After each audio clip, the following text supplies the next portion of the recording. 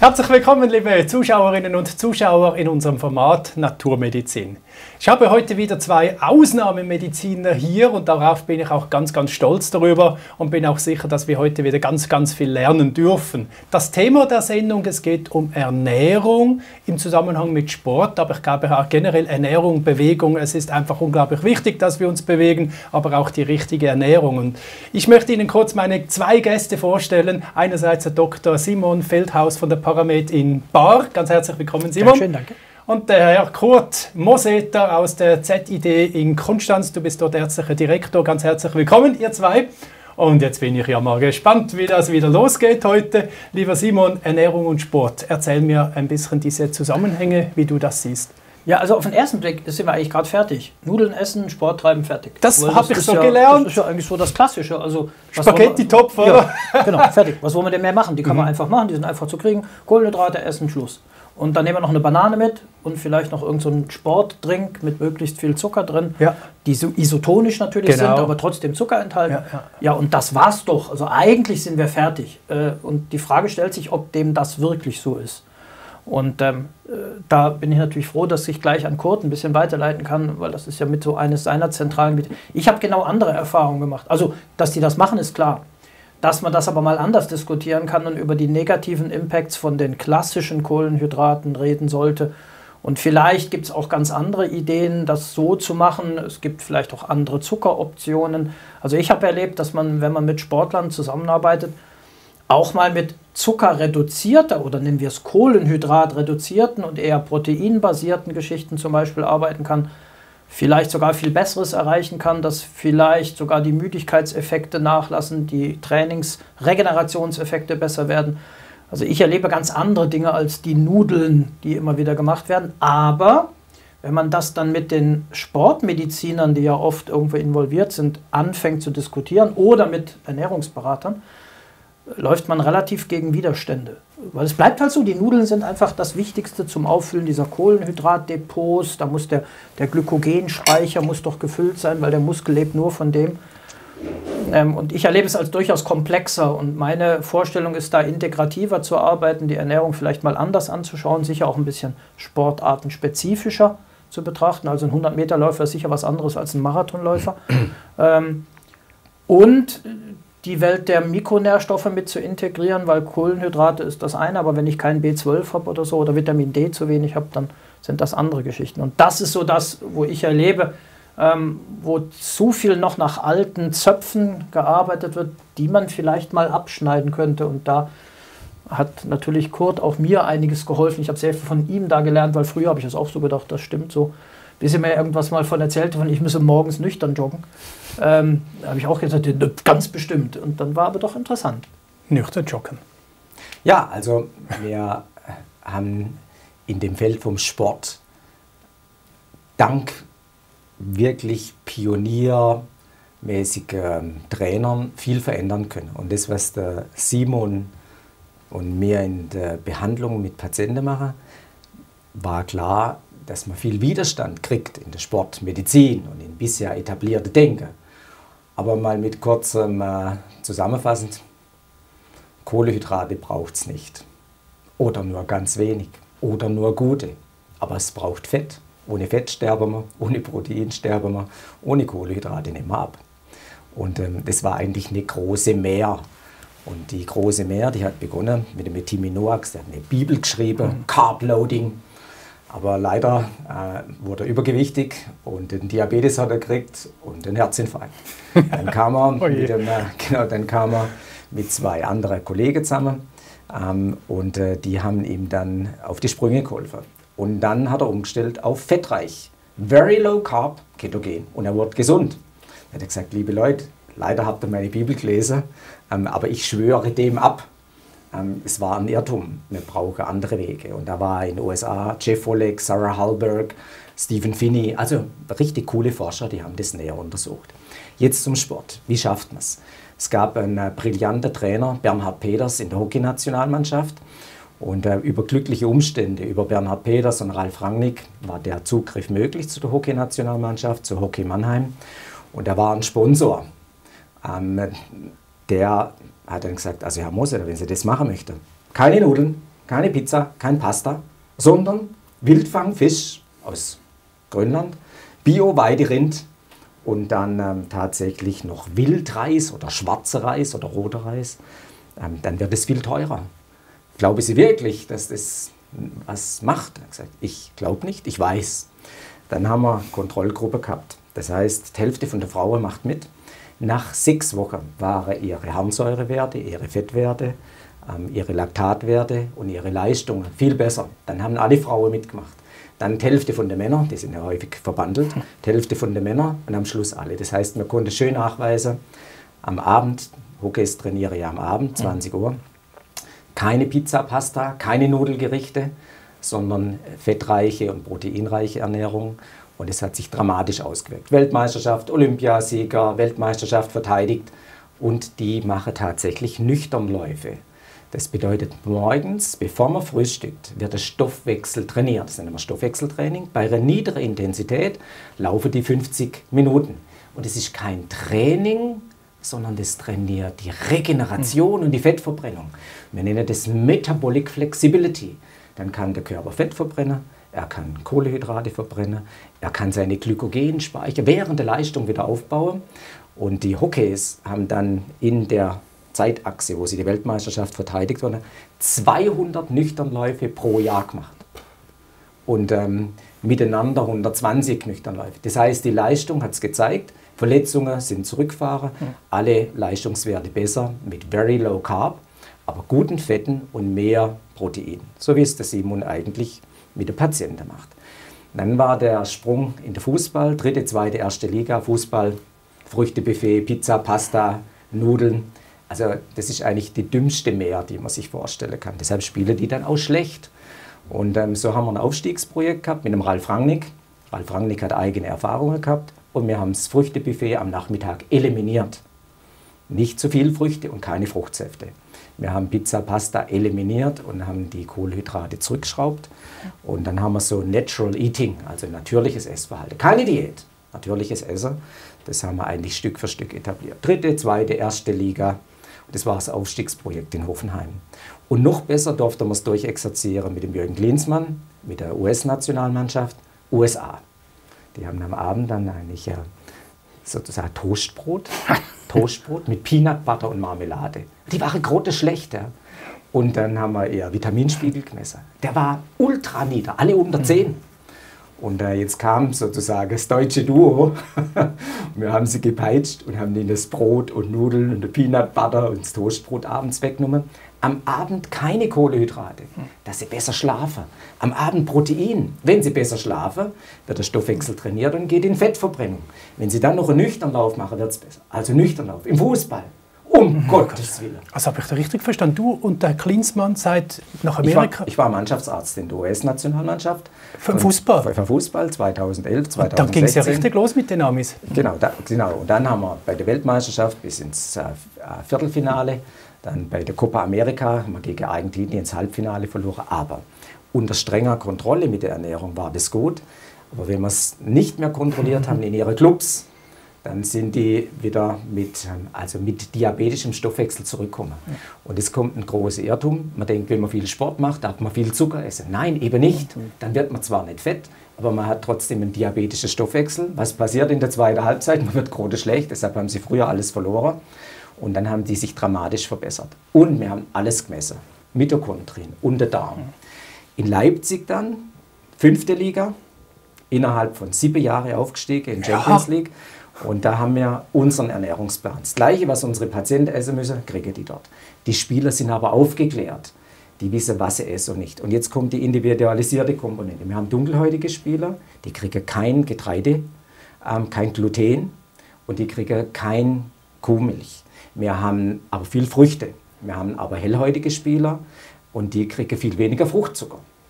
Und dann haben wir Buffets, einige kriegen keine Nachtschattengewächse. Und über den Darm haben wir das eruiert. Deshalb haben wir viel weniger Verletzungen, ein besserer Schlaf, eine bessere Leistungsfähigkeit. Und in den Jahren, wo die dann wirklich von null auf Champions League am Hochgras sind, haben wir pro Saison 1000 Verletzungstage weniger als andere Vereine über eine antientzündliche Ernährung. Und dank Ralf Rangnick und Jürgen Klinsmann und Bernhard Peters, also wirklich großartige Leute, die, die eine Taskforce haben mit Experten, ähm, war sowas möglich. Und die Idee war, ähm, dass man dann immer diskutieren müssen. Der Erfolg zeigt es und ich würde sagen, wie in der Formel 1. Wenn wir es dort vorexerzieren, dann wird es nachher zugänglich und seither ähm, können wir Kinder unterrichten. Seither haben die Spieler haben Patenschaft übernommen für Schulen. Seither hat auch Edeka umgeswitcht und seither haben wir eine andere Pyramide. Nämlich jeder kriegt seine, it's my, meine Pyramide. Und die Pyramide sieht aus Sport, Trinken, Achtsamkeit, weniger kurzkettige Kohlenhydrate, sondern weniger langkettige, viel Fasern, mehr Gemüse als Obst, dann noch ein zeitliches Timing, wertvolles Fett. Und die Strategie schützt vor Verletzungen, optimiert die Leistung, optimiert den Schlaf und wir nennen das die athletische Entwicklung und die athletische Gesundheit. Also fantastische Möglichkeiten mit einem anderen Ansatz. Und das, was man früher erzählt hat mit Kohlenhydrate, das ist nicht mehr. Hat sich das Wissen schon verbreitet, jetzt in allen Bundesliga-Vereinen drin, dass man diese Ernährung so macht? Weil man der hat ja die Leistung gesehen von Leipzig, ist ja gigantisch. Also so ein Weg war so, Jürgen Klinsmann und der Herr Schubeck und ich haben das in München schon mal eine Weiche gestellt. Ähm, dann kam der Pep Guardiola und der hat diesen Plan gesehen, Pizza, Pasta, Cola Ben. Da hat er sich sehr schwer getan. So Spieler wie Ribéry und Luca Toni, die eigentlich ähm, gern Croissant und Weißbrot essen. Da gab es einen Krieg, aber er hat dann eine Köchin geholt, die heißt Mona Nemmer. Die Mona Nemmer hat es schmackhaft gemacht. Der Pep Guardiola ging und dann hat sich der Jürgen Klopp die Mona Nemmer geschnappt und die hat in Liverpool Ernährung auf Weltklasse-Niveau ähm, umgesetzt. Die hat es toll umgesetzt. Jetzt kam noch ein anderer dazu, der das, die alte Schule, ähm, man braucht keine Supplementation und so. Und deshalb ist das eigentlich auch wieder ein bisschen in den Abwärtstrend dort gegangen. Aber der Pep Guardiola ist ein Perfektionist. Pizza, Pasta, Cola, Ben. Kurzkettige Kohlenhydrate reduziert und die Esskultur wird kultiviert. Wir essen alle miteinander. Da gibt es ein Frühstück, man macht ein Mittagessen miteinander, der Cheftrainer sitzt am Tisch. Und die Umgangskultur hilft, dass man langsamer ist. Hm. Und die Ernährung dort ist so gut, also very low carb. Es schmeckt so gut, dass wir Köche integriert haben. Die Köche haben Kurse gemacht mit den Spielern und mit den Spielerfrauen. Dann kochen die Spieler selber und die packen dann das Essen im Trainingszentrum ein und nehmen es mit Mama und Papa und der Freundin. Also das Gute schmeckt auch. Und jetzt ähm, hat man zwei von den Nationalspielern gefragt, nehmen wir mal drei, die Godeme jetzt in Neapel oder der Lukas Klostermann oder der Marcel Halstenberg oder Josef Paulsen. Ja, der Verzicht ist nicht schlimm. Das sind die was für ein Verzicht. Mir geht es viel besser. Mhm. Ja, sündige sie nie. Bei der Oma zuliebe. Alle, alle zweimal im Jahr bei der Oma esse ich eine Currywurst. Ja, jetzt äh, für alle zur Entlastung. Man darf eine Currywurst essen, man darf alles Mögliche essen, man darf ein Croissant essen. Nur wenn ich immer Schlechtes esse, kein Wunder, ähm, wenn ich Heizöl im Ferrari tank, ja, dann kommt einfach ein größerer Schaden. Und so müssen wir das sehen, wir müssen uns kultivieren, dass man eine gute Ernährung zu sich nimmt und mit der kann man die Leistung optimieren und ich kann die Mitochondrien fördern. Deshalb messen wir dort alles. Und jetzt kommt die nächste Botschaft. Eine gute Ernährung ist die Basis. Aber wenn ich Hochleistungen bringe, auf der einen Seite, oder wenn ich krank bin, dann brauche ich ein ganz ausgewogenes Niveau an Mikronährstoffe. Und das, was der Simon immer gemessen hat, haben wir eingeführt als Messungen im Profisport. Und jetzt haben wir Profile von den Spielern und Entwicklungen von den Spielern. Jetzt müssen wir gar nicht mehr sagen, nimm das ein, die machen es von allein. Ja, das ist eben das, das Interessante. Das sind ja eigentlich Dinge, die man im Patientenalltag genauso ja. macht zumindest empfiehlt. Aber die Schwierigkeit ist, dass die offiziellen Ernährungspyramiden ja. der deutschen Ernährungsgesellschaft, der schweizerischen, der österreichischen, ja. Dach heißt das ja so schön, die ist halt noch, unten ist Brot, Pasta, ganz oben in der, im Gipfel ist ein bisschen Fett. Ja. Und auf eine gewisse Art und Weise kehren wir das ja um und dann haben wir wieder so das Problem, nicht Mainstream. Und dann kommt wieder so diese Diskussion auf und das macht es halt ja immer Form, etwas schwieriger. Bei der Formel 1 ja auch so. Ich meine, die sind ja die Pioniers und ja, irgendwann ja. kommt es ja runter und bis zu den normalen PWs, oder? Ja, das ist sicher so. Deswegen ist es schön, wenn es im Sport und anfängt und man vielleicht so gewisse Beispiele eben hat, könnte dann helfen, Menschen zu motivieren, es wenigstens mal zu probieren, mal anders zu machen. Und ich glaube, die Kernbotschaft hast du aber auch gesagt, viele haben dann Angst, ja, okay, das schmeckt ja dann alles nicht mehr. Und das ist ja ausgemachter Unsinn. Ja. Ich muss eins haben, ich muss im Kopf eine gewisse Flexibilität haben. Ja. Wenn ich im Kopf habe, ohne Gipfeli kein Frühstück, ja, dann wird es schwierig, weil dann, dann, dann fehlt es mir. Mhm. Und dann komme ich sogar in einen Kehrmechanismus mhm. hinein, oh Gott, ist das alles furchtbar. Also es mhm. funktioniert, wenn ich im Kopf so eine mhm. ähm, Flexibilität habe, auch ich probiere mal was ja. anderes. Und ja. dann ist genau das Gegenteil. Genau. Dann erfahre ich neue genau. Welten, Klar. Dinge, von denen und ich gar nicht wusste, dass man das essen kann mhm. und dass es schmeckt. Und dann funktioniert es. Wenn ich aber festhalte, ein Schweizer Frühstück ist Gipfeli und Marmelade, ja. dann wird es schwierig. Und dann nennen wir das Stoffwechseltraining und Schlaf- und Regenerationstraining. Mhm. Das passiert nicht einfach nur so, sondern ich muss achtsam damit umgehen. Wenn am Abend kein Zucker kommt, wenn das Insulin ins Bett geht, dann schaltet der Körper auf Fettverbrennung und Reparatur. Wenn ich jetzt einen nüchternen Lauf mache morgens, Fettverbrennung noch ein bisschen mehr, und dann lernt der Organismus und dann kann er Kohlenhydrate verwerten, und dann darf er das auch, aber dann baut er seine Glykogenspeicher wieder auf. Und jetzt hat man ein super Experiment gemacht, der Jeff Oleg, und zwar beim Ultramarathon, also 14,5 Stunden, 100 Meilen. Und dann hat man gedacht, ach, ich brauche Carbs. Jetzt ist die Frage, wie viel Carbs, wie viel Glykogenspeicher hat der Mensch. Also nach einer halben Stunde ist alles weg. Leer. Genau, dann wäre er leer. Aber genau. Jetzt hat man dann diese ähm, Ultramarathonläufer untersucht, davor, während und danach. Und die beste Glykogenspeicher während und danach hatte die mit ketogener Ernährung weniger als 15 Gramm Kohlenhydrate am Tag. Das bedeutet, der Körper lernt Fett ökonomisch zu verbrennen. Das ist eigentlich das Superfuel. Es gibt eine Fettsäure, 120 ATP. Wenn der Zucker verwertet wird, vielleicht 36. Aber das Tolle ist, dass dann der Körper lernt, in der Fettverbrennung einen anderen biochemischen Weg zu aktivieren. Der heißt Pentose-Phosphatweg. Und dann baut er den Glykogenspeicher wieder auf. Und er schläft besser und er ist weniger erschöpft. Er wird weniger sauer. Eine niedere Betriebstemperatur, weniger metabolische Azidose. Fett kann nicht vergoren werden, er wird nicht sauer. Ähm, und eine bessere kognitive Leistung. Also auf allen Ebenen. Messbar, kontrollierbar die klassischen Trainingssteuerungswerte bleiben unter CK und Harnsäure und Muskelenzyme und der Blutzuckerspiegel und die Schlafwerte. Das heißt, lässt sich alles vorexerzieren und ist messbar und sehr, sehr gut umsetzbar.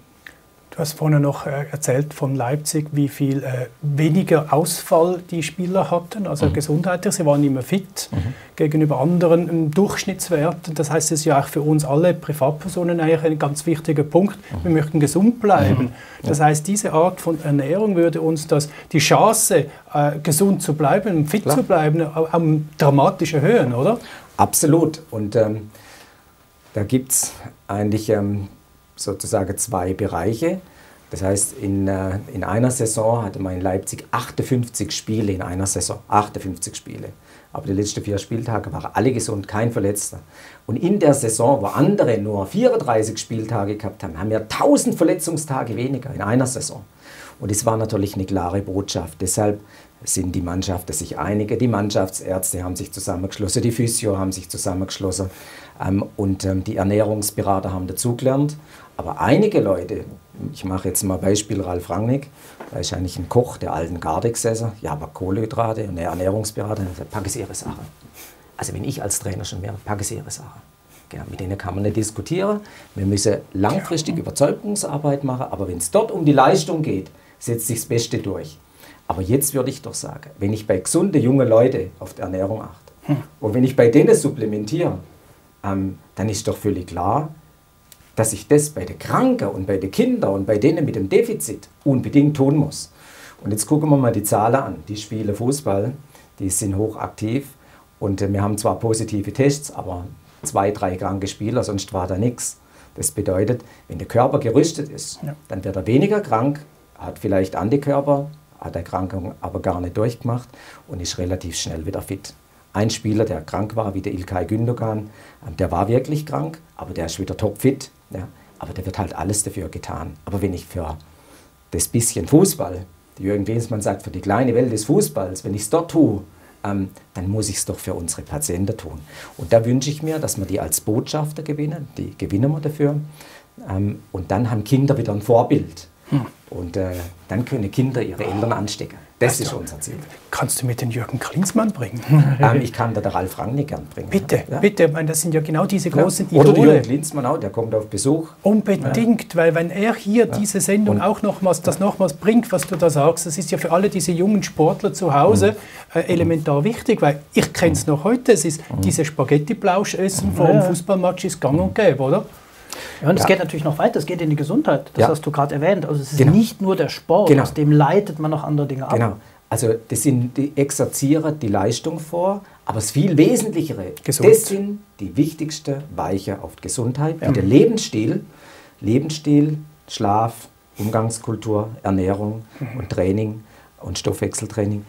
Das sind die entscheidenden Säulen für die Zukunft. Mhm. Das sind die entscheidenden mhm. Parameter, wie man Zivilisationskrankheiten regulieren kann. Da kann man eigentlich vor der Krankheit abbiegen. Mhm. Ja, und da möchte man eigentlich hin.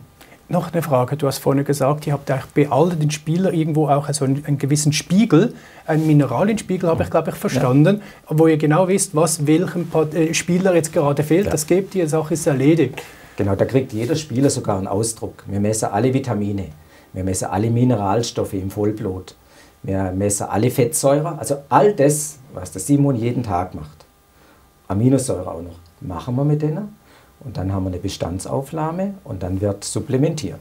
Dann machen wir ein Monitoring und dann wird wieder reguliert. Einmal im Monat oder das Monitor? Das haben, also in Leipzig haben wir genügend Unterstützung gekriegt. Da haben wir es am Anfang viermal und dann zweimal im Jahr gemacht. Aber sehr, sehr. Und dann kriegt aber das Spieler auch das Heft. Wir unterrichten ihn, dass er weiß, wieso. Und ich glaube, das gehört auch dazu, ja, wenn man ja. erklärt, wieso. Und wenn äh, das verstanden wird, dann haltet man die Spur. Das heißt, dann ist es nicht ein Strohfeuer, sondern die halten die Spur. Mhm. In den USA ist, nachdem dann Jürgen Klinsmann und ich 2016 wieder gegangen sind, sind die erstmal wieder zurückgefallen. Jetzt besinnt man sich wieder. Aber dass man die Spur hält, braucht es Aufklärung. Weißt du, meine Frage geht auch dahin, inwiefern ist das für mich oder für, für die Zuschauerinnen und Zuschauer entscheidend zu wissen, wenn sie zwei, dreimal im Jahr diesen Spiegel haben mhm. und sehen, oh, da bin ich wieder weit mhm. unten, ich nehme das rauf. Äh, wenn sie immer alle diese Gefäße gefüllt wären, dann ist doch eine Gesundheitsprävention in einer ganz anderen Stufe erfolgt, oder? Absolut.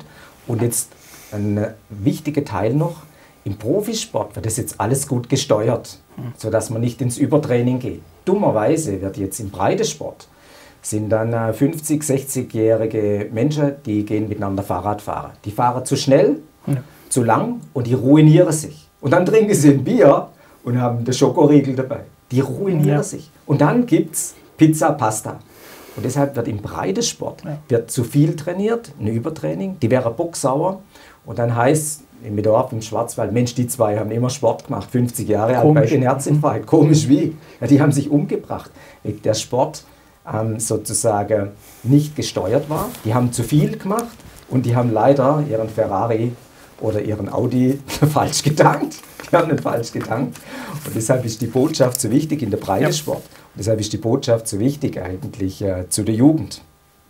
Ja, und, und es geht dann nochmal eine Stufe, weil du hast es gerade in so einem Nebensatz kurz erwähnt, diese Pentose-Phosphatzyklus-Vergärung ja. und so. Da geht es jetzt durchaus auch um die Frage der onkologischen Prävention. Ja. Ähm, wir wissen aus der Biologie, es gibt kein in der Natur frei lebendes Katzentier, wo Krebs bekommt. Und was fressen Katzen? Keine Kohlenhydrate. Katzen sind reine Fleischfresser. Ja. Sie fressen keine Kohlenhydrate. In den domestizierten Katzen, also bei uns die Hauskatzen, die das Fertigfutter bekommen, das Fertigfutter enthält zu 50 Prozent Getreide. Mhm. Domestizierte Katzen kriegen Krebs. Es gibt mhm. kein freiliebendes mhm. Katzentier mit Krebs. Warum? Es sind die Kohlenhydrate. Und warum? Weil eben aggressive Krebszellen, das ist nicht der einzigste Grund, Krebs zu kriegen, das ja, es gibt nie monokausal, aber aggressiv schnell teilende Krebszellen ernähren sich von Kohlenhydraten, nicht von Fett. Wegen genau dieser Geschichte, genau. wegen der Vergärung und so. Die nutzen einen speziellen Mechanismus, wo man mit Kohlenhydraten eben machen kann und mit Fett eben nicht. Und damit ist es eben auch eine gewisse präventive Maßnahme für ganz andere Dinge, nicht nur Sport, ja. nicht nur Gesundheit. Es geht auch um Zivilisationskrankheiten. Alzheimer ist ein Thema, wo wir auch wissen, äh, da hat viel mit dem Zuckerstoffwechsel im Gehirn zu tun, der dann eben nicht mehr richtig funktioniert, wegen zu vieler Kohlenhydrate. Und alles das ist eben so ein Thema, wo man unbedingt integrieren müsste. Und ja. dann kommt dieses Welt mit dem Messen dazu, weil wenn man so eine Basis hat ja. und man dann sieht, es gibt wirklich gut gemachte wissenschaftliche Untersuchungen. Wenn ich einen gut trainierten Sportler nehme, der dann auch noch sinnvoll vorbereitet ist. Und der hat jetzt zum Beispiel einen Omega-3-Mangel, zu wenig Omega-3-Fettsäuren. Und den supplementiere, habe ich gemessen, im Blut kann man das mhm. ja messen, den supplementiere ich jetzt mit ausreichend hochdosiertem Omega-3 mhm. und lasse den dann trainieren. Dann kriegt er bei diesen Squats, also im Prinzip bei der Kraftanstrengung des Oberschenkels, nur nachdem er das gemacht hat, der war schon vorher gut trainiert, aber nach dem Omega-3 bis zu 20% höhere Muskelleistung. Ja. Aber nur, wenn vorher das schon gestimmt hat. Aber dann kann so ein kleiner Punkt eben noch mehr bringen. Wenn ich jetzt alles schlecht mache, nur ein bisschen Fischöl nehme, mm, Mhm. Aber in so einer Konstellation, da kann man dann noch helfen, noch ein bisschen besser zu tunen, weil dann noch kleine Dinge fehlen, die ich halt übers Essen mhm. nicht mehr so machen kann, weil so viel Fisch kann ich dann eben doch nicht essen. Mhm.